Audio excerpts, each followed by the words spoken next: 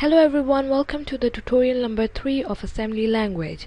In this tutorial I'm going to cover subtract, increment, decrement in by using debug. So let me go to my DOS box and I will mount my debug in D drive.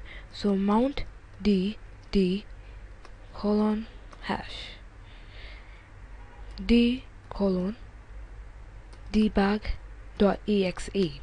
so let's start with the coding. First I will go to a memory location.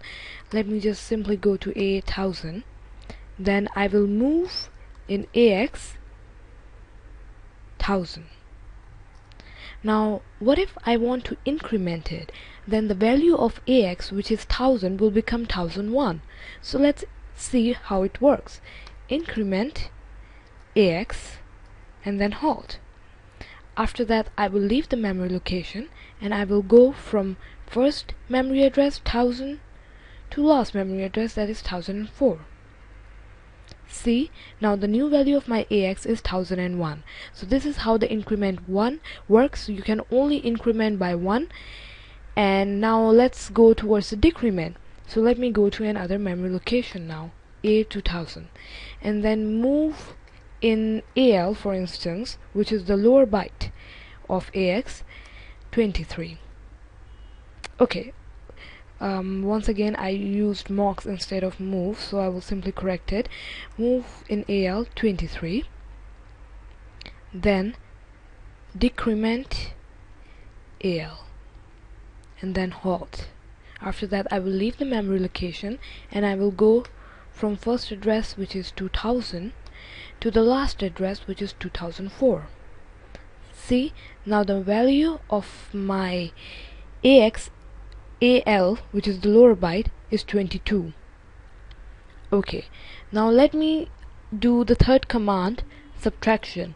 Subtraction is simply like addition just that we subtract two values.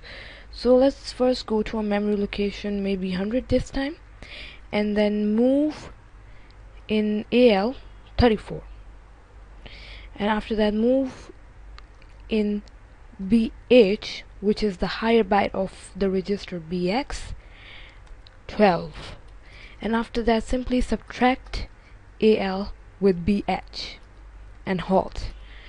Now we will leave the memory location and in order to see our result we will go from 100